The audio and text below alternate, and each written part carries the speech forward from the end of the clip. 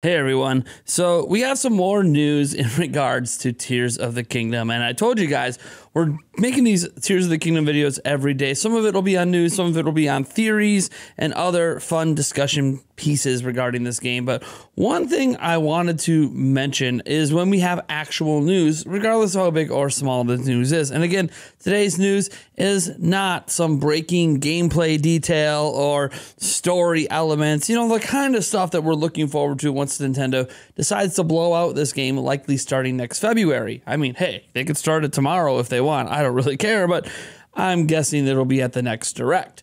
That being said, we do have a couple tidbits of news today that are at least worth thinking about and do add further credence to how done the game is. As an example, the Tears of the Kingdom game has been rated by. Wait a second. Before we talk about that, I want to tell you about this video's sponsor.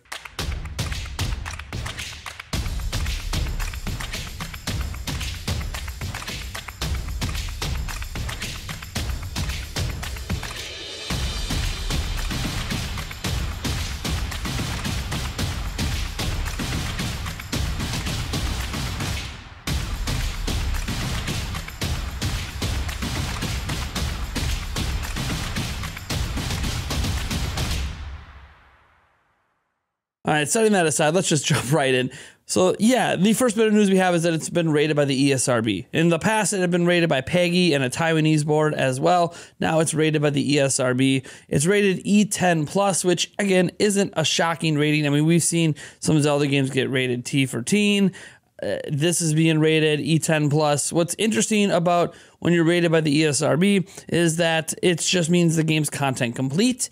That doesn't mean the game is done, that the polish is done, that all the cutscenes are finalized, but content wise, start to finish, the ESRB basically knows what will be in the game, and that's why they base their rating to be E10 plus. Didn't get to the full teen rating, that might upset some people, but it's whatever.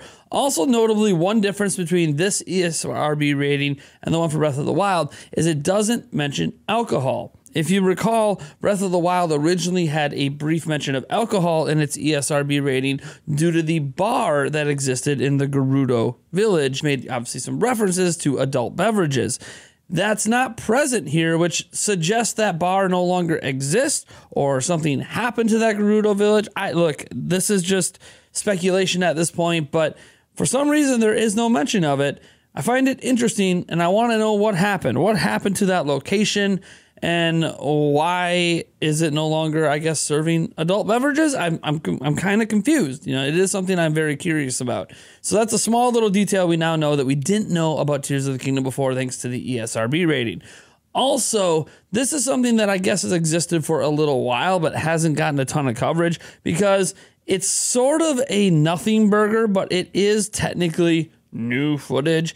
Uh, some people have uh, discovered some clips of footage for Tears of the Kingdom that are basically extended sections of the trailers. And these extended sections don't actually give us anything new, but it does technically represent footage that was cut from the trailers. Essentially, when Nintendo cut together their trailers, there were certain small sections that were a little bit longer that they cut short to cut to a different area. And a couple of these sections that we have from the first two major trailers, again, doesn't really tell you that much more. Link running a bit further.